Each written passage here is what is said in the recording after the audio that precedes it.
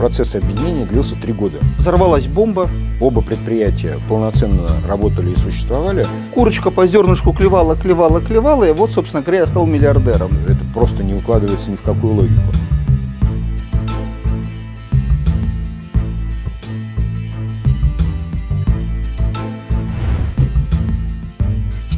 Друзья, добрый день, рад вас приветствовать. Сегодня в студии у нас в гостях известный уфимский политтехнолог Андрей Сергеевич Потылицын, с которым мы будем обсуждать все, что связано с башкирской содовой компанией. Андрей Сергеевич, здравствуйте. Добрый день. Спасибо, что согласились пообщаться с нами. Ну вот, взорвалась бомба, БСК отошла в федеральную собственность, юридическая общественность в шоке, деловая общественность, я думаю, пребывает вообще в нокауте. И мы выпустим обзор э, юридических тонкостей этого дела. С вами хотелось бы поговорить о персоналиях, о скрытых э, политических мотивах этих событий. Готовы? Да, конечно. Да, начинаем.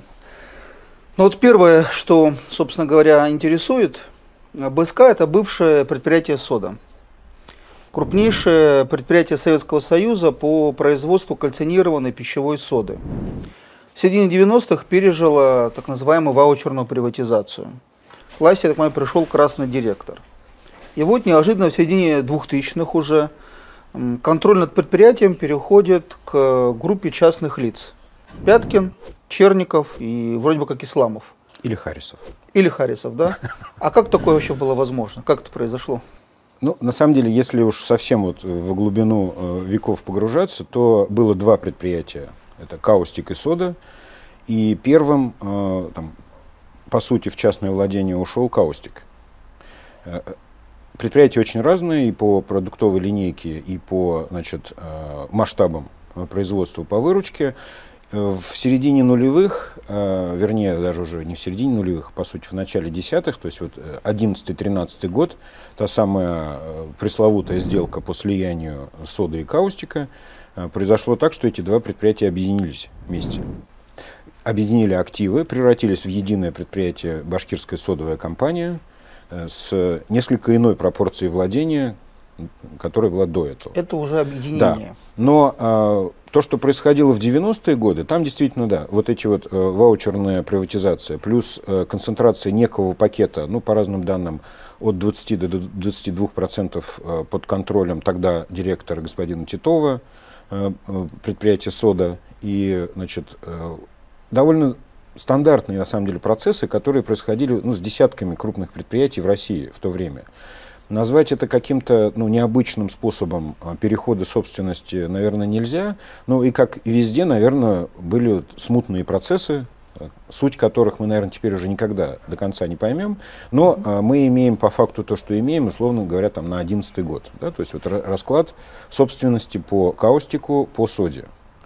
И вот э, то, что... Можно я перебью? Вот у Черников, ну вообще вот э, эта группа частных акционеров, они крайне непубличные люди. Да. Найти упоминания о них э, в открытом информационном пространстве практически невозможно. Тем не менее, у Черникова есть известное уже интервью, которое он в 2013 году дал Олегу Тинькову. Я понял, что надо делать только большой бизнес, потому что ты можешь сделать там на 100 тысяч бизнес, можешь сделать на 100 миллиардов, усилий ты тратишь ровно столько. И вот там а, на вопросы Олега о том, а как ты строил бизнес, как ты развивал свои активы, он очень подробно рассказывал, как он развивал там салон видеосвязи, там какие-то мусорки, прям вот в деталях все рассказывает. Но когда он дошел до главного своего актива, БСК, это звучало буквально так. Ну вот курочка по зернышку клевала, клевала, клевала, и вот, собственно говоря, я стал миллиардером, да? Как анекдот про знаменитую американскую мечту. Да, да, да. А вот все-таки вот это клювание зернышек, которое Черников так скромно описал, это в реальной жизни как выглядело? мы можем только предполагать, на самом деле, потому что ну, достоверно это известно единицам людей, и вот это точно не мы с вами, но речь идет о том, что, вероятнее всего, конечно, существовали а, скрытые интересанты этих процессов, и вот эти три фамилии, которые на поверхности, которые сейчас, ну, всплыли, условно говоря, на поверхность, действительно, они были очень непубличными людьми, всегда а, прятались а, за вывесками там какое-то время офшорных э, компаний, там вот Madison Limited, потом э, действительно они вывели все из офшоров в Россию, это была башкирская химия и так далее, и так далее, но э, у меня складывается впечатление о том, что действительно за этим всем стояли еще какие-то интересанты, которые, собственно, и могли быть источниками либо денег, либо административного ресурса для того, чтобы, ну вот как вот никому неизвестный э, владелец ви- видеосалона да, вдруг, вдруг да, возрос до вот таких вот миллиардных активов. То есть я вполне допускаю, что там и Черников, и э, Пяткин, и э, э, Харрисов, они э, не являются ну, истинными владельцами большинства активов вот этой компании. Вернее, не являлись уже теперь. А, а вот взаимоотношения башкирской содовой компании и ее частных акционеров с властью – в период, когда руководителем Башкортостана был э, Рахимов, в период, когда был Хамитов, и вот уже последние годы, когда к, к рулю власти пришел Ради Хабиров. Как они развивались? Ну, это очень разные истории, на самом деле, очень разные э, эпохи, наверное, даже вот в, в истории э, самой республики. То есть э, Башкирия, Башкортостан времен Рахимова, Башкортостан э, времен э, Хамитова и нынешний Башкортостан – это очень сильно различающиеся э, среды обитания для бизнеса и для крупного бизнеса в том числе.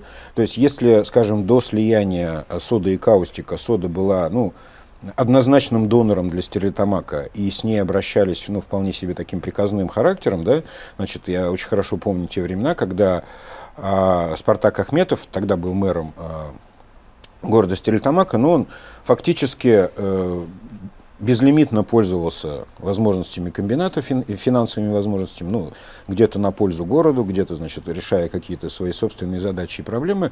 То есть и это были времена Рахимова. Вот так было устроено взаимодействие. То есть там нельзя сказать, чтобы э, предприятие было в как, каких-то равных условиях с властью. Власть mm-hmm. была над предприятием и во многом э, пользовалась этим. Ну и тогда у государства был контроль да, полный. Тогда был и контроль, и влияние, и вот это вот, ну скажем так, неформальное взаимодействие.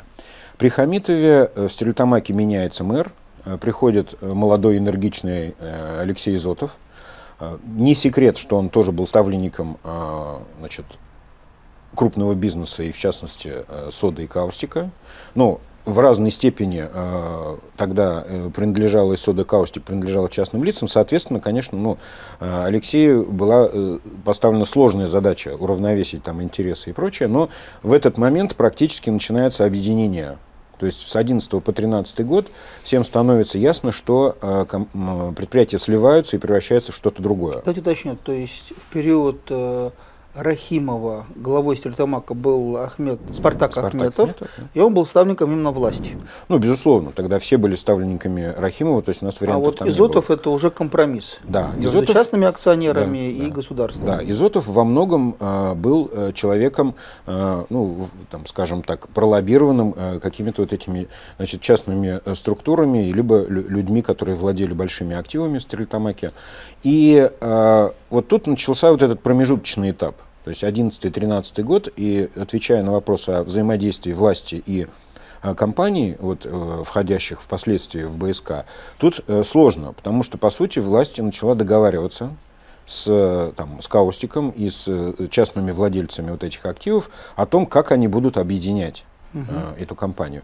Тут очень важно понимать момент вообще, толчок, импульс, откуда вообще взялась идея. Да, вот откуда. Вот есть предприятие сода, вполне себе успешно работавшее, то есть нельзя сказать, что оно было там на грани банкротства или там нуждалось в каких-то крупнейших серьезных капиталовложениях, которых, например, у государства не было. Нет.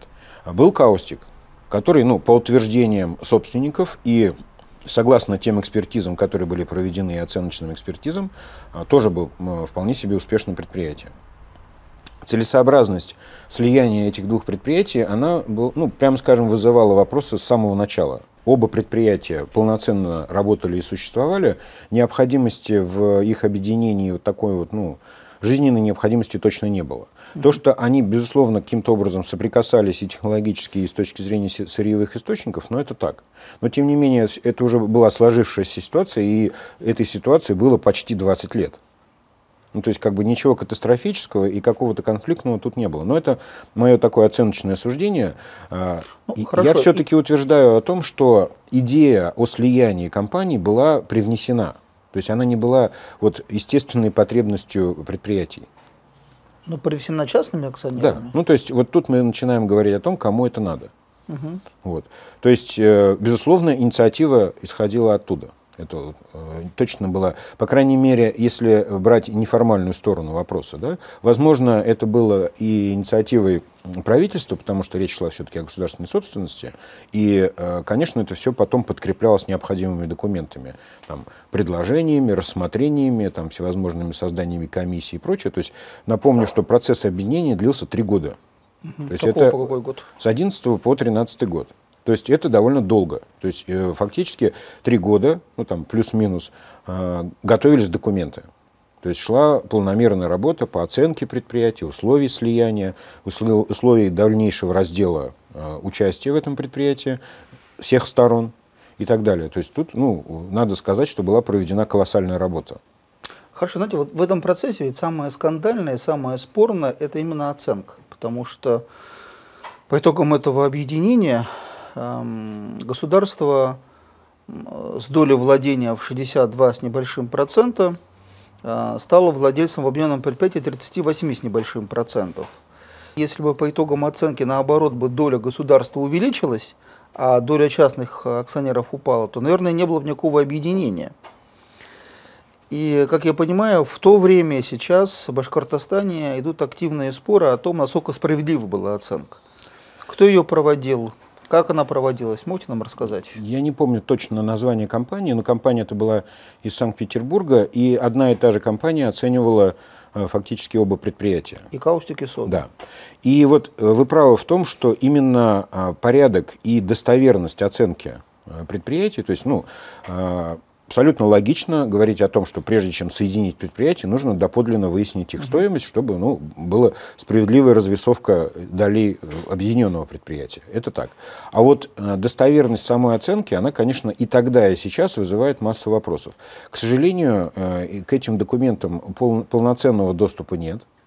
И вообще там есть много закрытых как бы участков с точки зрения вот, формальных вопросов, как это происходило. И, конечно, эксперты говорят о том, что есть сомнения, э, насколько правильно были оценены активы, ну, по разным косвенным признакам, о том, какие части активов включались там, э, в консолидированную собственность э, сторон, да, то есть, например, взять тот же каустик, э, правомочно ли было, например, включить в массив э, собственности э, предприятия э, акции, которыми управлял Каустик на тот момент, но не владел ими? Можно ли было стоимость этих предприятий включать в общий массив То есть в активов, оценку каустика включили акции той же соды. которыми они управляли, Управляли на правах да, управления? Да. То есть тут э, много было вопросов вот таких. Они, иногда они действительно чисто арифметические, иногда они э, как бы технологические, потому что, ну, помимо, э, скажем, оценки там, остаточной стоимости оборудования, там, земельных участков, зданий, сооружений и прочих вещей, которые, в принципе, ну, наверное, посчитать несложно. То есть существуют методики, которые, ну, как правило, еще и не оспариваются. Тут есть еще и такие вещи, как там э, ресурсная обеспеченность, э, взаимная закредитованность предприятий, потом закредитованность предприятия отдельно. Э, Мы вот до конца не знаем вот этих историй, скажем, были ли какие-то... Эта оценка вообще публиковалась, она есть в открытом доступе? Нет, ее нет в открытом доступе. Вот в том-то и штука, что части вот этих вот э, значит, э, документов, их нет в открытом доступе, есть только финальный результат. То есть вот мы приходим к тому, что э, в итоге государство получило 38%. Логика объяснения вот этого, ну, вроде как с обывательской точки зрения, 60% лучше, чем э, 38%, да? Но когда это все обсуждалось в 2013 году и в 2012 году, когда готовилось, и все это объяснялось тем, что, ну, мы же увеличили предприятие, оно же стало Значит, больше. по итогам прибыль стала И, больше. да, и в валовом, валовом выражении, да, вроде как... А э, больше стала прибыль государства? Сложный вопрос, потому что здесь прибыль государства, она не э, очевидна. Существуют э, дивиденды, которые так или иначе платились, и надо сказать, что э, башкирская содовая компания была там чемпионом по выплатам дивидендов в определенный момент, то есть они выплачивались настолько э, интенсивные в таких объемах, что это вызывало вопросы вообще у, там, скажем, коллег по Путин, бизнесу. помнится, говорил, что да, это что 105%. Э, Да, был какой-то совершенно сумасшедшая рентабельность, но она и действительно там сумасшедшая. Но э, прибыль государства складывается не только из э, дивидендных выплат, но еще из определенных, э, скажем так, ну, не вполне э, таких э, бизнесовых соглашений с предприятием. Это так называемая социальная функция предприятия. Когда э, ну, любое крупное, особенно градообразующее предприятие, берет на себя там, добровольно или не очень, но берет на себя обязательства там, по прибыли, да. определенным выплатам городу, там, социальной среде, там, еще каким-то вещам. Да, Да, то есть, безусловно, это можно рассматривать как скрытые дивиденды именно в пользу государства. э, еще э, нужно не забывать о том, что у нас была очень любопытная схема э, участия в предприятии. То есть бюджет республики не участвовал напрямую э, в предприятии, а был э, значит, явлен вот этот рекфонд. Что это такое вообще? Да. Когда он возник, Что это Зачем такое и зачем он нужен? Да, да. Я не знаю нужен, точно, да. когда он возник. Он вполне себе мог существовать там зарегистрированным и раньше, но реально на, э, в пространстве вот этих процессов он появился вот с момента, когда э, создалась вот эта башкирская содовая компания. Рикфонд был уполномочен получать и распределять эти дивиденды. То есть э, тут уже такая довольно скользкая э, дорожка э, решений была о том, что ну, правительство республики принимает решение значит, поручить Рикфонду э, получать и распределять э, эти дивиденды. Автоматически деньги превратились в небюджетные источники. Да. То есть если бы они напрямую поступали в бюджет, ну как э, да. доходы Дали от активов, республики, да. да, ну это логично. То есть вот э, есть строка значит, в бюджетной росписи, есть там строка вот, доходная часть, там Да. есть налоги, а есть там, например, Бюджет э, публикуется да, ежегодно, это все, да. более того, он фиксируется, его там нельзя изменить до, до определенного э, уровня и так далее. Тогда бы было все понятно. А здесь рекфонд. У рекфонда есть совет директоров, очень тесная компания значит, э, из э, буквально единиц э, высших чиновников республики. И при Хамитове, и при Хабирове это было так. И, собственно, Хабиров сам входит в совет директоров, и его глава администрации господин Сидякин до недавнего времени тоже там числился. И вот они уже фактически лично решают дальше вопрос распределения средств И рекфонда куда они распределялись? В разные места. Иногда на благие намерения, иногда не- непонятно куда. То есть, э, ну, по сути, они могли распорядиться этими деньгами как угодно. Вот я Конечно. слышал, что ставили в упрек, что деньги из рекфонда уходили на финансирование спортивных команд. Да, да, нет, в том числе и это. То есть, э, э, условно говоря, конечно, Рекфонд э, каким-то образом проверялся, его финансовая деятельность, но она, опять же, кем проверяется? Она проверяется контрольно-счетной палатой той же самой Республики Башкортостан, руководство которой назначается руководством Республики Башкортостан. То есть, если мы тут это кольцо так вот обозрим, мы понимаем, что это все одна команда, которая действует ну, исключительно в общих А интересах. БСК, Рекфонд чем еще управлял? Насколько- Или это Рекфонд только вот э, компания Нет, для одной компании? Насколько я знаю, там э, э, были поступления от иной собственности Башкирии, там, в том числе и от недвижимости какой-то и прочее. То есть функционально этот э, фонд, он как бы был призван управлять доходами э, республики от каких-то активов, то есть причем они могли быть разнообразными. Я точно не скажу, но э, для приличия, конечно, там были иные доходы у Рикфонда. Ну, то есть, когда акциями владело, например, напрямую Минимущество республики, это было неэффективно. А когда владеет ООО «Региональный фонд», это более эффективно. Нет, тут все сложнее. Акциями так и владел Минзимимущество. То есть э, владельцам То есть собственность акций- не передали? Собственность нет, передавались только полномочия. То есть существовала, видимо, какая-то система а, значит, э, договоров и каких-то значит, э, соглашений между Рикфондом и э, собственником в лице МЗИО, э, Министерства земельных и имущественных отношений. И вот, собственно, на основании этих соглашений, видимо, мы не видим этих документов, мы их никогда, наверное, не увидим, где там наверняка прописывалась и э, ну, функциональная прибыль самого Рикфонда, то есть они должны были содержать аппарат э, там, и там, офисы и прочее, прочее. То есть наверняка им позволялось это делать из э, ну, доходов, которые они получают от э, вот этих активов и так далее. Но мы не знаем этого доподлинно. Еще вот э, со стороны частных акционеров БСК звучало, что в процессе объединения Каустика и Соды они привнесли Березняковский содовый завод. Это тоже актив, который увеличивал стоимость именно их участия в объединенной компании. Это так? Ну, насколько мне известно, на, на момент 2011 года Березняки еще не принадлежали э, этой группе. То есть позже купили Экономически, уже. да. То есть, насколько, насколько я помню, это было еще, еще управление Березняковским заводом. Сейчас, да, он принадлежит башкирской химии, вернее, он принадлежал БСК. Он БСК принадлежит, Да, в том-то да. и штука. И теперь, э, э, условно, вот эти вот трое частных лиц, они потеряли и Березняки тоже это уже это отдельный вопрос, уже сугубо юридический. То есть оспорили приватизацию, по сути, каустика и соды, а попутно федеральную собственность забрали еще и березники. Ну, так получается, потому что э, актив тоже входил в общий э, массив да, а, да. акций БСК, соответственно, и, да, это так. Местные активисты, они любят говорить, что частным акционерам подыгрывали и федеральные чиновники. Учет фамилии Григория Рапоты, который так действительно, действительно является Э, предом, председателем совета директоров БСК. Да. Называют фамилию Бабича, если не ошибаюсь. Это полпред, который сменил работу после его перехода на должность секретаря союзного государства. Э, что вы знаете о роли вот этих федеральных чиновников э, в развитии БСК, в лоббировании интересов частных акционеров? Ну, начнем с работы, да. Человек такого федерального масштаба, Предания гласят о том, что он имеет э, очень такой тесный и прямой контакт с Владимиром Путиным. Он долгие годы возглавляет э, совет директоров э, УАО «Сода» значит, и БСК. И, соответственно, ну, он, его подпись стоит под решением об объединении угу. значит, двух этих предприятий, в числе остальных 10 членов Совета директоров.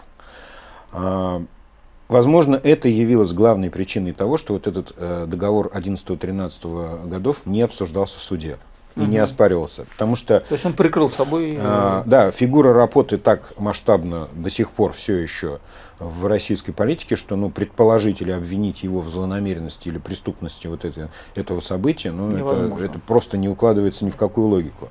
Вот. Насколько я знаю, и сам э, господин Рапота также полагал, перед э, ну, началом суда и, и так далее. Каково влияние работы на эту ситуацию, но ну, я думаю, что если таким вот э, совсем уж э, банальным языком выражаться, он был ну, главной государственной крышей всего этого предприятия, угу. и при этом он еще и надзирал за тем, чтобы ну, частные собственники не позволили себе лишнего, ну, совсем уж став полноценными владельцами предприятия. То есть око государева. Да, в определенном смысле это был некий противовес для того, чтобы, ну, ситуация на самом деле для очень крупного предприятия нетипичная. Обычно все-таки э, а, вот эти, э, пускай даже частные владельцы, они размываются где-то в каких-то офшорах, в каких-то, ну, и потом их никогда не бывает там трое. Это уж совсем мало для такого огромного актива. Соответственно, либо какие-то пакеты, либо какие-то компании, и за ними еще кто-то стоит. Здесь слишком уж это было выражено на таком персональном уровне. Ну, согласен. При, да, пригляд нужен был, это да. точно. Роль Бабича здесь несколько менее яркая, на самом деле. Насколько я знаю, она даже больше носила некий конфликтный характер. То есть, э, может быть, это была попытка э, как бы поучаствовать войти в ситуацию, в, это, в эти процессы. Может быть, еще что-то. Я вот до конца не пришел к однозначному выводу, но я знаю, что он активно конфликтовал на уровне, вот, когда шла речь о э, ну, первичной попытке получить э, Куштау, как, вернее, Таратау как сырьевой источник. Угу. то есть в тот момент, ну, с, с комбинатом, ну, то есть. то есть он был против разработки. Да, и как бы э, его роль не так э, выражена на самом деле. Ну, безусловно, он был полпредом, он, конечно, участвовал. И, возможно, у него была э, здесь мотивировка в том, чтобы не допустить каких-то там серьезных конфликтных ситуаций и там напряженности в регионе. Я не, до конца не знаю, почему mm-hmm. это случилось. Он был инициатором, по крайней мере, формальным инициатором этой сделки. Но это же бомба реально, это же создает конфликт прямой. Ну, это в большей степени легенда на самом деле. Он мог быть из теории заговора и конспирологический, но тем не менее, учитывая логику событий и последовательность, он напрашивается. Президент по бумажке зачитал проблему Куштау. Вопрос, кто мог положить ему на стол эту бумажку?